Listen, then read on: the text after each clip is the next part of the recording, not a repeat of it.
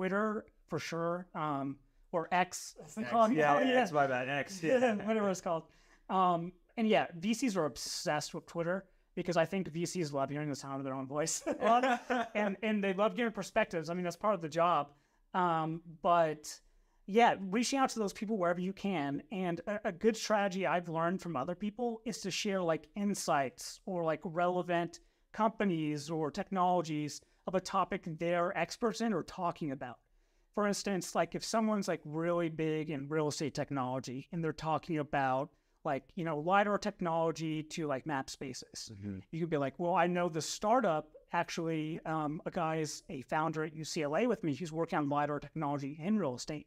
And you send them a company and they're like, okay, great. And they can have a dialogue with you at that point. And they ultimately see like this person can provide value. This person can like find opportunities and put them in front of me. Oh, that's fascinating. Wow, that's so cool. And I was telling Matt actually, like, he knows so much in consulting.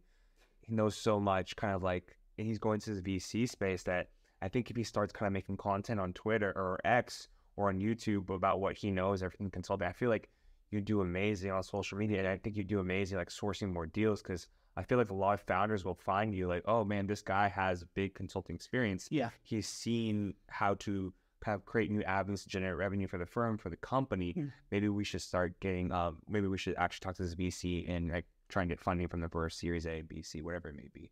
Yeah. And I, I started like getting like obsessed with like VC when trying to break in. I, I kind of knew like the odds are, were against me. Yeah. And one strategy I, I did come across was to break into the VC is to become a like subject matter expert or person who has like an online identity. Yeah. Like, there's people out there who like have a blog or website who publish like you know thought pieces or like research they independently do, and that gets in front of other VCs and other founders and people in the tech industry.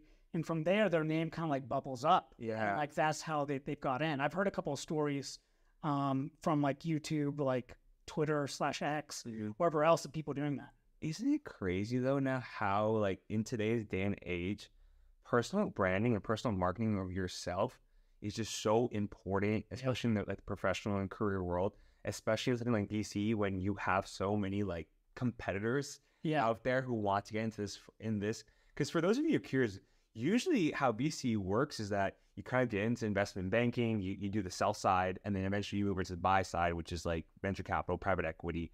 And then it's also very competitive too, because you're gonna go, you're gonna get MBAs from like Harvard, Stanford, Yeah. and, and UCLA. So thank you for for sharing that that insight for how to get break into this world. For sure. And like that that's like I'm not the best at like branding myself and it's something I'm I'm trying to get better at and improve on. But that's also like been a, like a common byline in my career I found out. Because, you know, my first like job in consulting at Accenture, the uh the CEO at the time, his motto was be famous for something.